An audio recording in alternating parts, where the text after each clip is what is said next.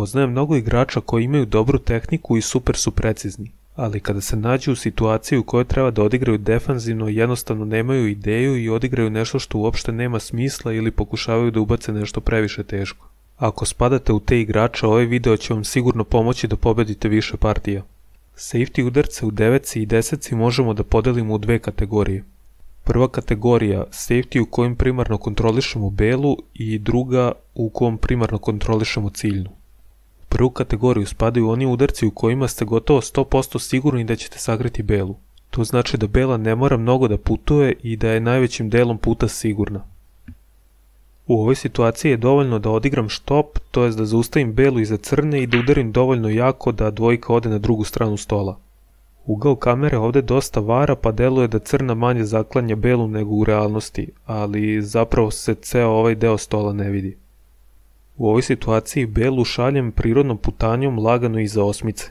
Bela prelazi mali put i da sam odigrao malo slabije ili malo jače i dalje bi bila sakrivena. U trećoj situaciji belu isto mogu dosta lako da zaustavim iza šestice. Jedino o čemu ovde treba da vodim računa je da ne ubacim dvojku preko puta. U svim ostalim situacijama, to jest kada bela treba da pređe veći put, koristimo drugu kategoriju, to jest više se koncentrišemo da kontrolišemo ciljnu kuglu. To znači da treba da je parkiramo na mesto sa kog ona ne može direktno da se ubaci u rupu ili su šansa za ubačaj jako male. Belu treba da pošaljemo na drugi kraj stola, ako uspemo da sakrijemo dobro je, ali bitno je da, iako ciljna kugla ostane otkrivena, ne može direktno da se ubaci. Ovde mi je cilj da dvojku pošaljem na ovu martinelu između srednje i ugaone rupe, a belu da ostavim preko puta. Pre svega se koncentrišem da dvojka dođe tu gde sam zamislio, a ako se neka od ovih kugli nađe na putu i blokira direktno putanju, to je samo bonus. Vidite da nisam uspeo da sakrijem kuglu, ali protivnik nema lak udarac. Drugi primer je sličan, hoću dvojku da pošaljem na ovu levu kratku martinelu, a belu preko puta. Bilo bi dobro i da se bela sakrila iza ovih kugli, ali to mi opet nije uspelo, ipak protivnik ni u ovoj situaciji nema lak udarac.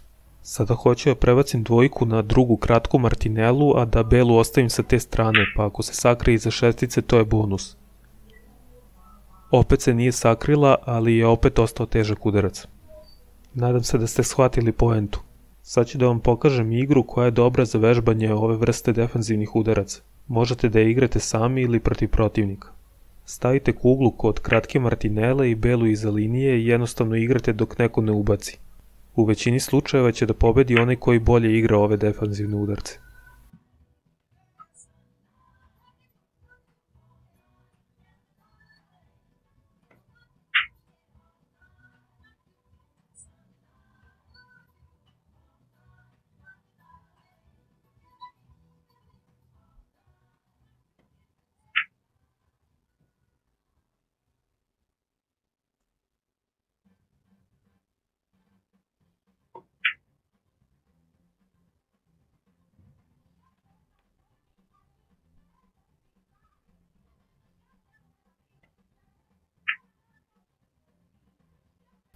Sada ću da odigram ono što amerikanci zovu two way, to jest dvostruki udarac.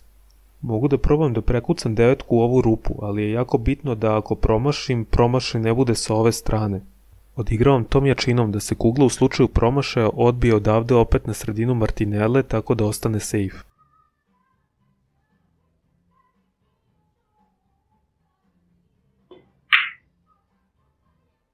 Ipak sam uspeo da ubacim. Inače, defanzivni deo igre je mnogo složeniji od ofanzivnog. Probao sam ovo da objasnim na što jednostavniji način. Ako imate neka pitanja, pišite u komentarima i lajkujte video ako je bio od koristi.